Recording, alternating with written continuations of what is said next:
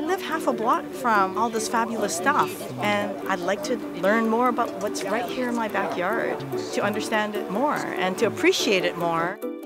We just moved to Vancouver. It's just been so easy to find a home here. Everyone is so welcoming, and we're just walking for lunch, and here we are doing a tie dye party.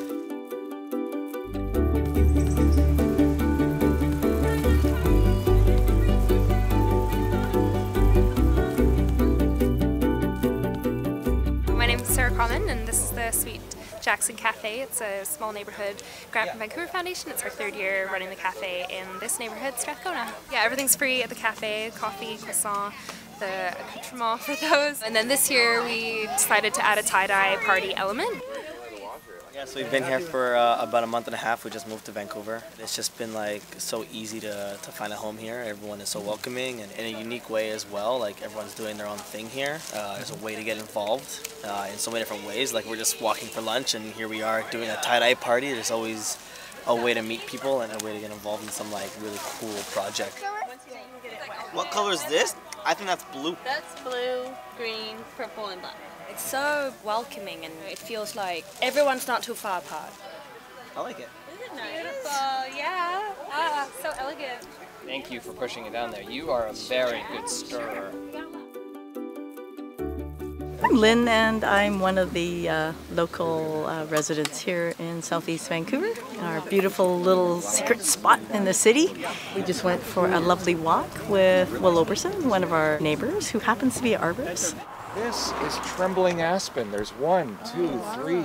They call them trembling because in the wind they, they make that lovely little noise, you know? It's neat to just get so many different kinds of people out, people who don't know each other, and this is a chance for people to say hi and meet a new neighbor. It's like a maple. Oh, the one behind the one in the back. So some of these are probably original forest. Uh, everything in here is native trees. And here we are in the middle of East Vancouver, eh? Who would know? There's so much to know. I live half a block from all this fabulous stuff, and I'd like to learn more about what's right here in my backyard to understand it more and to appreciate it more as I do my little uh, loops around the golf course. So we're so fortunate to just have this little bit of a little bit of belt of what it was like.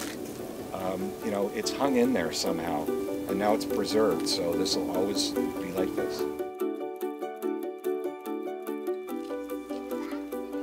One of my favorite things that's happened every year is that I get to meet people who then I get to see elsewhere in the neighborhood and just really like building on the community that already is really strong in this community of Strathcona. Just having this like positive experience of sharing and of joy and of like family fun that then can carry on out into the neighborhood and uh, help us to feel like more engaged and connected and safe and strong here together. Yes. Yes.